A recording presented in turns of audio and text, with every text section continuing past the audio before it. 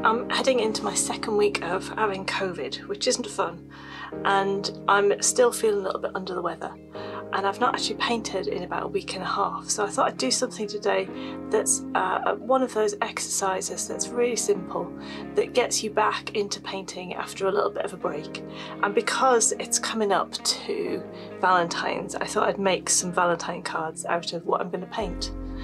So I'm going to do something fairly small, fairly simple, that's just about getting paint on paper and isn't going to take too much out of me as I'm recovering.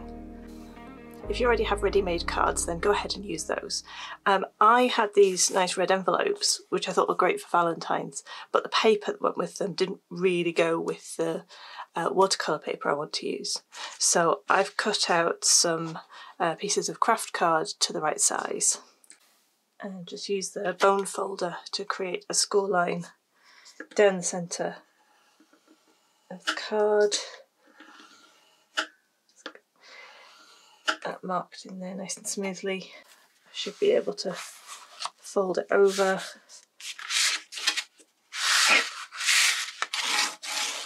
and smooth that out.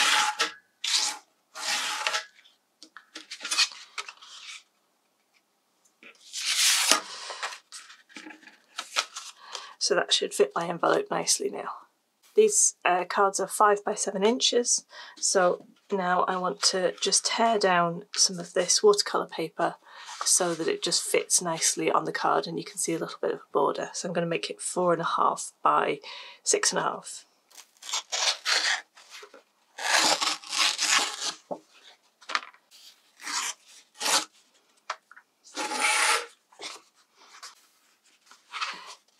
So I've got a nice rough edge now and that fits nicely on my card. I can use one of my little torn off pieces to, uh, to work out a nice colour palette. Um, and let's see, I've been really liking this colour at the minute. This is Potter's Pink. It's really soft pink and it's got lots of granulation in it so when it dries the pigment kind of separates out into um, darker and lighter areas. So that's fun but it's not very um, bright and vibrant so I can pair that with some magenta, quinacridone magenta which is much brighter that's going to give me a much deeper colour. Um, I think I want um, more of an orangey red as well, so I'm going to use some of this Venetian red. And then I actually want some yellow, so I'm going to use some raw sienna.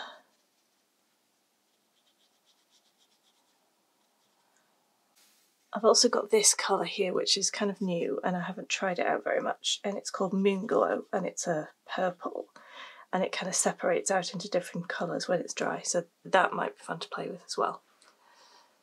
So I've got my ready pinky colours. Um, I'm going to get some interesting mixes out of these.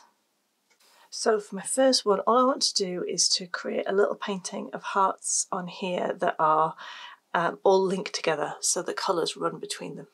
So I'm going to start at the top left hand corner and I'm going to work down to the right, uh, the bottom right, and I'm going to leave a nice kind of a border around the outside. So maybe kind of half an inch, centimetre, something like that. Um, not too much, but I want to give it a little bit of breathing room. And all I'm going to do is just to dip into any of these colours. I've got this one on my brush to start with, this, uh, this nice Venetian red, so I'm going to start with that one. And just going to make half a heart.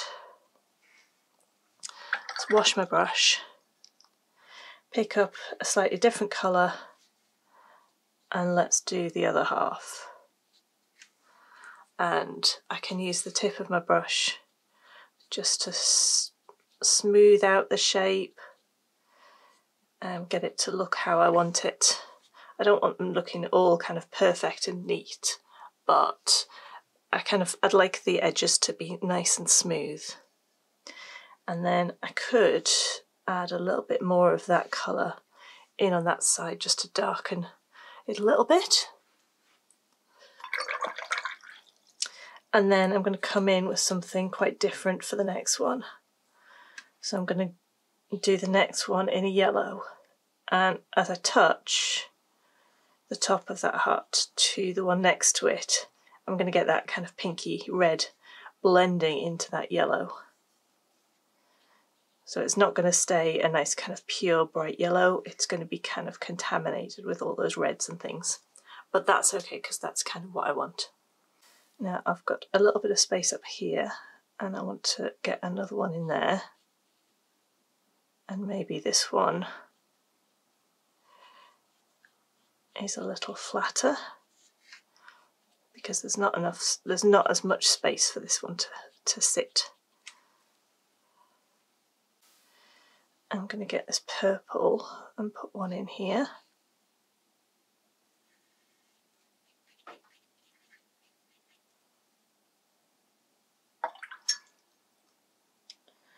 Purple on one side and pink on the other.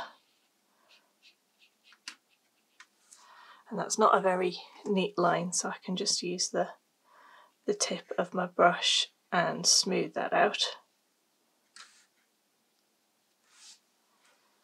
and then I've got enough space in there maybe for a little one. So let's put that in there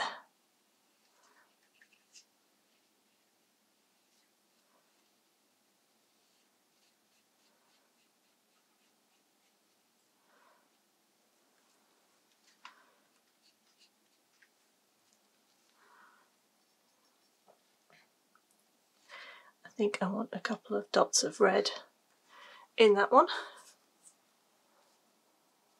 Now I can go back here and start my next row and hopefully this, these will still be wet so I'll still get some nice bleed from these ones here.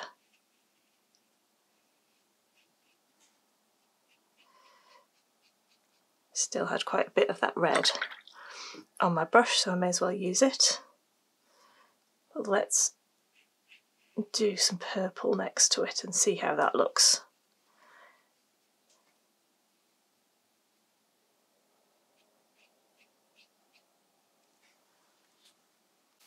there's some bright pink in there.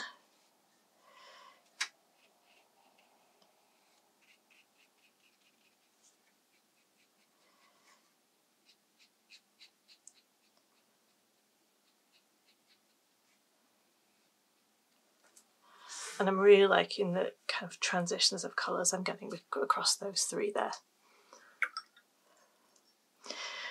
I can see I've got a space here that I could put a nice big one in and that's going to give me a little space in the middle that I might just put a little one in. But if I get this big one in first, then I'll have a bit more space for the small one.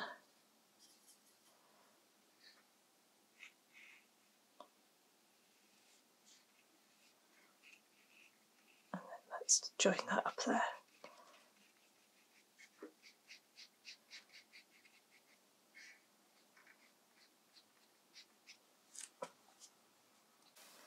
So yeah, a little one right in the middle here. And let's just touch it to these ones on either side. And have that come down into there. That's like more than touching.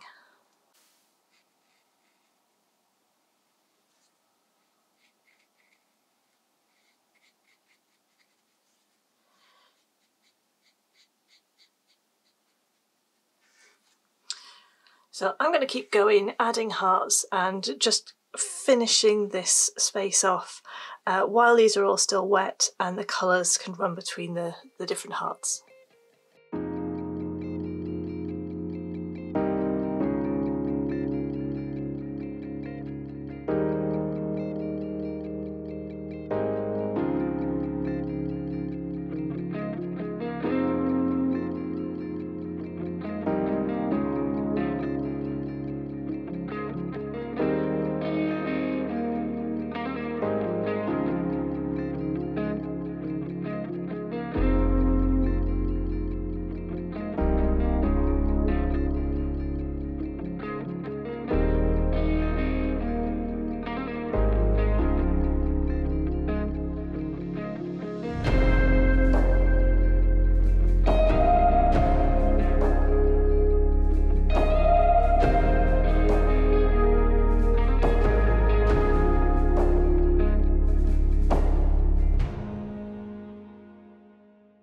So now I've filled up my uh, paper with little hearts. I'm really liking some of the way that the colours are running between the different areas. And this really is the perfect project when you haven't painted for a while and you don't want anything that is going to demand too much of your ability to draw or concentrate. So, uh, so this is a perfect first project back. So I'm going to um, put this one to one side and I'm going to work on a different one now.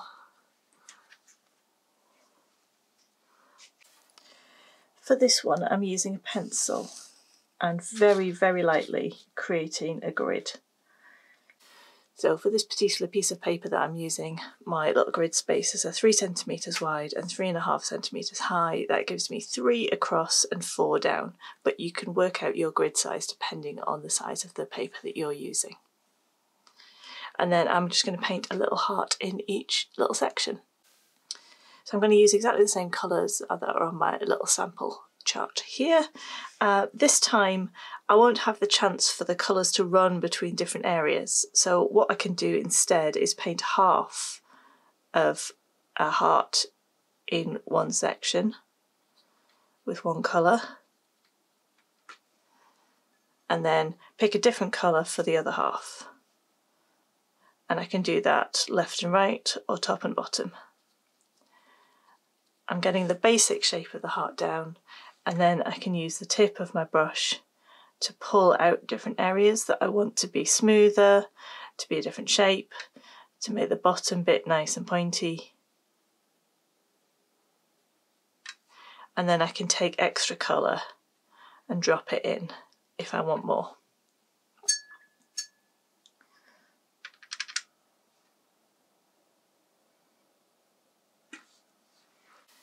I can also paint with water, so I can paint half a heart or a whole heart with water and then just drop some colour into it. So let's do that on here. So this is just clean water and I'm painting my heart shape with that. If I tilt the paper you can see that. And then I can take whichever colour I fancy. Let's go for this nice dark red because that will spread out nicely and I can just drop it in and I can drop it in one place or I can drop it in a few. Let's get the bottom of that nice and sharp. A little bit more in here. And just allow those to bleed and I'll get some nice kind of swirly effects from that. So I'm going to keep going and dotting around this paper, just painting in my hearts in different ways. This one I can do the top yellow and then the bottom a different colour. So let's use this pink.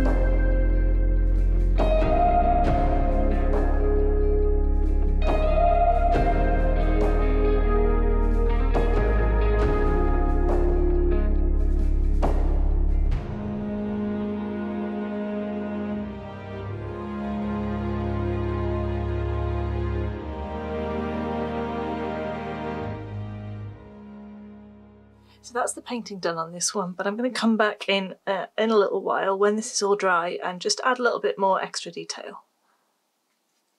For this one I'm going to draw a little heart in pencil and again I'm doing this very lightly. I'm just freehanding it.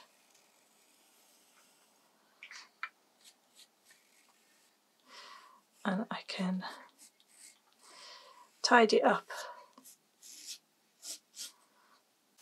And again, I've drawn this very lightly because I want to be able to erase it at the end. And now all I'm going to do is fill the heart with little leaves. You could fill it with anything. You could do little flowers, you could do little circles, triangles, whatever you fancy. Um, it's just something really simple just to fill in that space. So you can practice first. So I've got my little torn off uh, bit that I can uh, do some uh, testing on before I get to my final piece. And what I want to do for this is to create a little stem using the very tip of my brush and then just press down one side and the other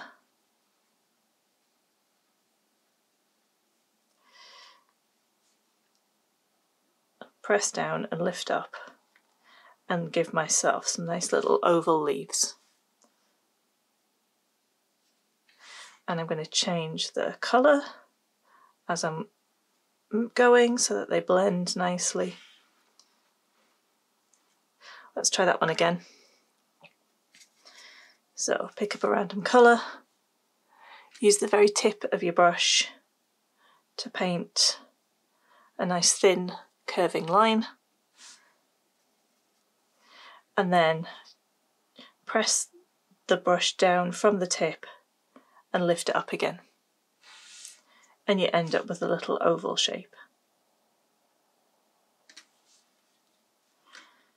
And you can do both sides of the little branch. Flicking your brush in different directions gives you an idea of leaves that go off in different directions, so you can play with that if you like.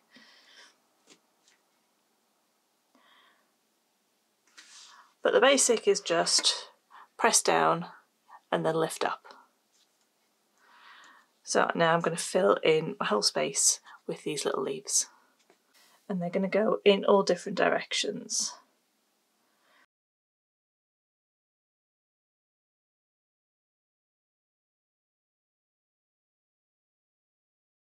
Just use the tip of my brush to neaten that one off a bit.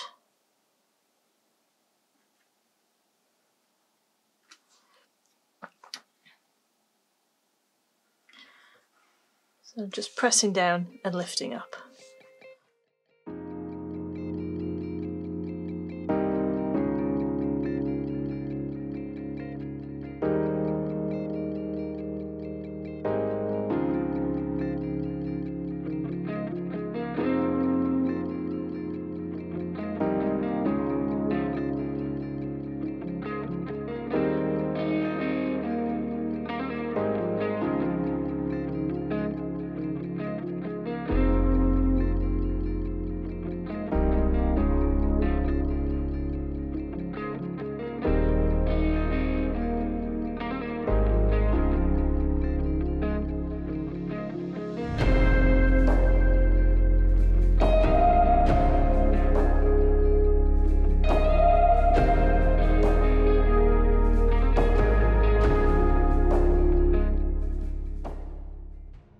When you've completely filled your heart, it's time to kind of look and see if there's any gaps. And I can see there's a bit of a gap there.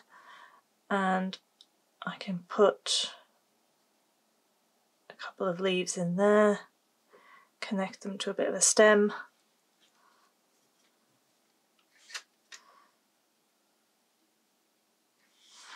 And then anywhere that feels like it needs an extra leaf or two, you could uh, just add single leaves.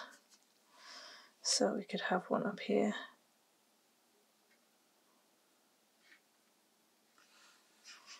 Here.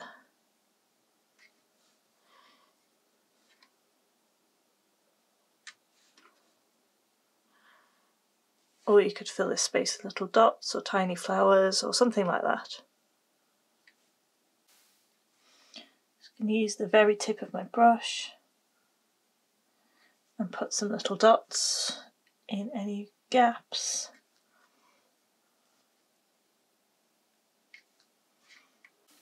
Just filling the heart up with little uh, tiny dots just gives it that sense of fullness makes it obvious that there are no gaps, that the whole of her heart is filled. And it adds something that's just a slightly different size as well. Now this one is dry, I can go in with my eraser and just softly remove those pencil lines. Now my little hearts are all dry and I've removed the pencil lines uh, that were left on there um, and I can add in any details and things that I want. This is a bit of an optional extra step uh, but this is something that um, I find really relaxing and calming and it's just to add patterns. So I've got a couple of pens here. I've got a black pen and a white pen and I'm going to just add little patterns onto these hearts, really, really simple ones. I'm just going to alternate between the black and the white. So the simplest patterns that you can do are things like little dots.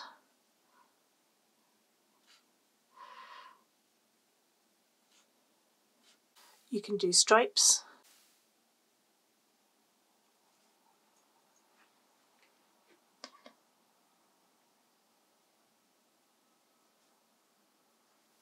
You can do circles, squares, triangles. Let's do some little squares on this one.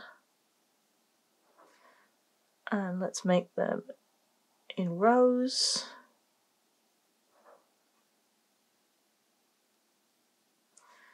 And then rows underneath so that there's like like a really regular grid.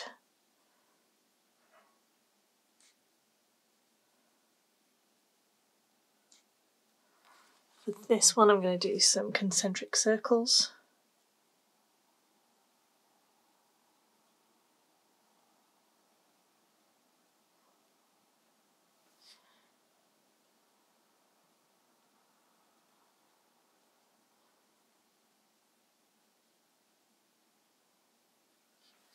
And then some shapes you can use both colours on.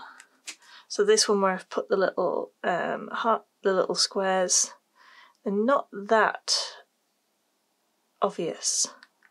So I can go around with them with the black pen and just make them stand out a little bit more.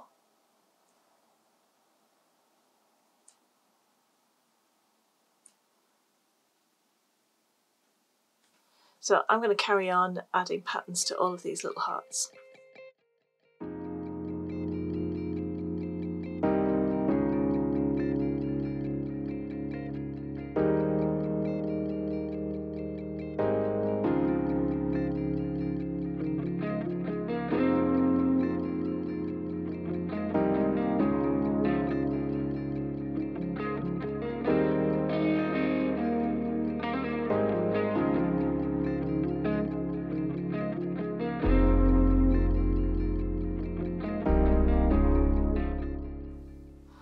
So when you've completely finished your painting, all of your decoration that you fancy doing, and you've removed all of the pencil lines, uh, you can choose which ones you like and add them to your Valentine's cards.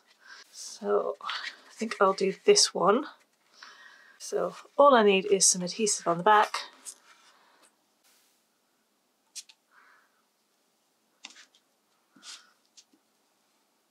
I've got plenty on, it's all nicely spread out. And then let's just line that up and stick it down. There we go, there's my simple Valentine cards. Uh, if you give these a go, you can post them on Instagram and tag me at Lou Rachel Davis. I do love seeing what you've made. And yeah, I really hope that your loved ones appreciate these. So thanks very much for watching today and I look forward to seeing you again very soon. Uh, hopefully I'll be a bit better in the next video. So yeah, I hope that you've really enjoyed these today. Thank you very much. Bye bye.